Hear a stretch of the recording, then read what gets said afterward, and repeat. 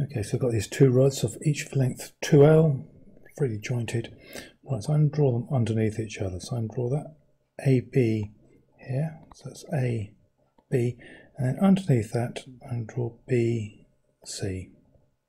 B, C. A bit shaky today. Uh, so C, we've got 50 newtons going straight across there. We've got 75 newtons the weight coming down here. What else do we know? We're going to have to find the weight of AB, so I'm going to put the weight. I normally put mg, but this one, since we asked for the weight, I'm going to put just w on there. And I know I'll do it in black. The length of that is 2l, and so is this one, 2l along there. It's got the angle beta in here. I'll do it also in black. That's beta. And this angle up here is alpha. Tan beta is 3 quarters, so that means that's opposite over adjacent is 3 over 4. So 3 over 4 is going to be a 3, and that's beta there. It's going to be a 3, 4, 5 triangle. May or may not be helpful. Obviously here, between the, the two of these, there are um, equal and opposite forces at the pin joint at B. And if I could put them into, you can see what they're going to be because that's 50 newtons to the right on this bit, there must be 50 newtons to the left on here. And if there's 50 newtons to the left, there's got to be 50 newtons to the right because it's equal and opposite. And here 75 going down, so there must be 75 newtons going upwards, and therefore there must be 75 newtons going downwards. And that may or may not help. So, first thing for three marks, I've got to show that tan beta is three quarters. So I'm going to use this one. I'm going to take moments about B for BC. And definitely worthwhile showing this. So I'm doing part I up here and take moments about B. And I'm going to say it's for BC. And as always, I like putting the anti-clockwise moments equals the clockwise moments. So what we got? Anti-clockwise, the one spinning around. I've got this 50 newton bit.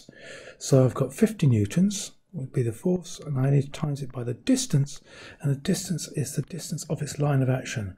So if I draw in the whole line of action there, you see that it's this distance here I want, which is equivalent to this distance here, and so that'll be 2L sine beta. So times by 2L sine beta and that equals my clockwise moment, which is just this 75 newtons. So 75 newtons times by, again, if I dot that back, the distance I've got is this horizontal distance, horizontal distance there, which will be the length will be just L because it's only half the, the uh, way along. So it'll be L cos B.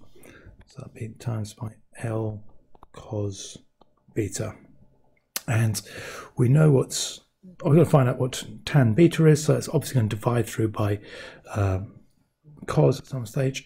The L's are going to cancel out, and I'm going to get that's 100 sine beta equals 75 cos beta.